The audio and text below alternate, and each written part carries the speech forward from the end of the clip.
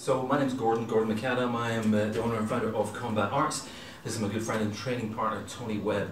So today we're going to go through a couple of little tips and tricks about, that might help your Thai training or your kickboxing or anything that has that um, close contact and interactive bit.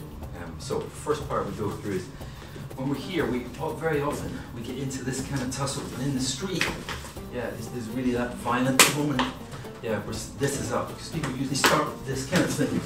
Yeah, so we to get used to being in that space, yeah, without actually getting too formal on it. So how we're going to train it is we're both going to put our arms out long, and I'm going to try and control that central area. And Tony's going to try and control this central area as well.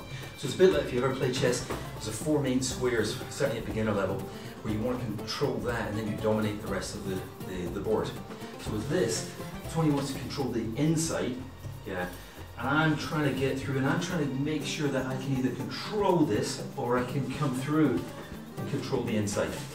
The moment I get to the inside, so if I let Tony do it first, so if I'm here, he's getting contact, now he's just going to slide my arm, yeah, so he's not going to disengage and try and get me, he's going to literally slide. If I do it to Tony, if I try and break, if I bring this off to go and hit, he's just going to hit or he's going to drop an elbow on, bang, yeah. So when we're going to, first part is we go here, we just try and play with this and just get control. Obviously what you want to be is you want to be tucked. You want your center of gravity because if I go straight and straight in my spine, if Tony moves anything, then it's a kind of disconnect. When I go here and Tony tries to move me, then I've got my mass, it's like centered. Yeah. So this part I'm playing and I'm going, I roll.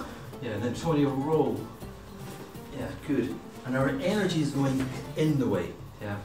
In a second, we're going to go into another part of it about how you actually come into head control. So the full, the whole motion is going to look play, play. So this is the drill. And the moment I'm on the inside, I'm going to bang, spank in and hit straight into head control, and then I'm going to go into knee and drive. Okay. So part one, we're playing and I'm controlling. Is it real? No, it's really artificial, but it's real enough. Yeah, because otherwise we need to, be doing this all the time. And he's not going to let me do that. He's going to go, one, he's going to elbow, bang. He's got, yeah, right. So the drill is to get used to this bit, so that we can get in, yeah, yeah, and get through all that using our whole body. Yeah. So we play this. We don't disengage. If I disengage, I get spanked. Yeah. And I don't try and control here all the time because he'll fold into an elbow. Yeah. I want to be in the middle and every time one of us disengages, yeah, if I kick off, bang, so he's going to come straight in. Okay? So that's the first part of it.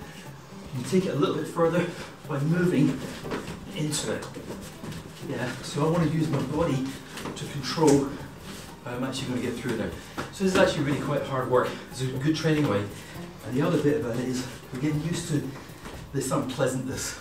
Yeah, I'm, just my opinion, but I think a lot of people do martial arts they're in the wrong ranges because a conflict starts from here and it's pretty soon it's right in here. So if we can train here, we can get used to yeah, what we can do. Yeah, so that's part one with it. As always, go safe, go gentle, gradually bring it up.